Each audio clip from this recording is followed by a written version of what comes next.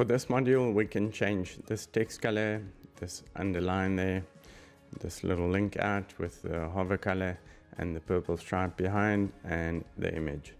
How do we change it? So let's go to text, let's doing business. Okay, we'll keep that the same. Let's go to design. There's a text color.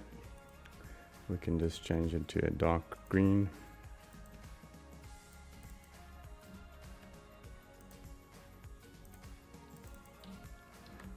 There we go. Let's see what else we've got. Nothing further. Let's look in advanced. Quick preview. Okay, so that's the color there. We're gonna go to these links in a moment. We can save and exit on this. The divider, this will be quite easy. We're gonna go with a light green this time just to follow the format that's there. Okay, let's quick preview, right?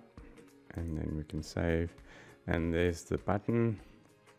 So you can link this out, obviously, if you want. If we go to design, we'll see there's the purple color. Um, again, let's just go with a dark green. Let's keep it uniform and let's do a quick preview. There we go. Hover color different. So next is the image over here.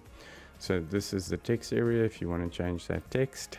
Alternatively we're going to this image here. So the image is 320 by 320 and you'll see that it's got a transparent background and that it's round you can test with a different shape image. Uh, try to keep it the same size. That would be ideal. Then there's less work for you to do and you'll know that the responsive will work really well. If you want to get this uh, image itself um, from the PSD file you can update it there. Um, it's a, la a layered. So you just want to make sure to keep it the same and have the background transparent. So let's look a bit further. So and then we've got advanced and then there's that background that we want to change that stripe. Again we're going to grab the dark green and we can just paste that in over here. It says here clearly background color and then we can look further through. And then just preview to make sure there we go that's the green we're looking for then you can save and exit and then update. And let's have a quick look. There we go. Perfect. All set. Thanks for watching